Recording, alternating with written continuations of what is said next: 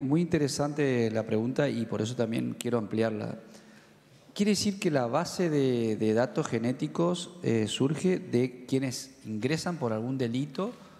Eh, no es una base, bueno, explique, digamos, de dónde surge la base de datos genéticos, quiénes son los que están registrados y por qué se los registra, porque evidentemente tiene que ver también con, para poder hacer la comparación, porque si una persona comete un delito nunca estuvo registrado, tampoco tendría la en la base de datos.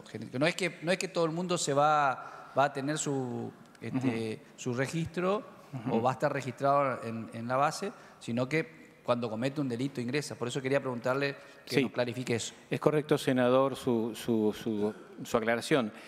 Únicamente se ingresa al registro el ADN de quien es, de que comete un delito, considerando el momento en que hay una decisión judicial que a una persona en concreto sí la considera responsable prima facie y sujeto pasible de una investigación, es decir, cuando tiene el acto de imputación o es llamado indagatoria.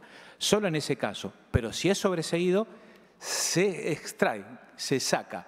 En algunos lugares se lo deja permanentemente, de hecho las huellas dactilares nuestras están, están a nuestros padres, están a nuestros abuelos y bisabuelos, y siguen estando. Nosotros tenemos este sistema más benigno, digamos, que luego se le saca. Si es condenado, no, se mantiene. Eh, pero solamente, únicamente respecto de quien comete un delito. Quien no comete un delito no está. A menos que quiera en el sistema, nosotros propugnamos la posibilidad de que alguien voluntariamente pueda aportar sus datos. Eso, eso- pero eso es voluntario. Mm-hmm. Mm-hmm.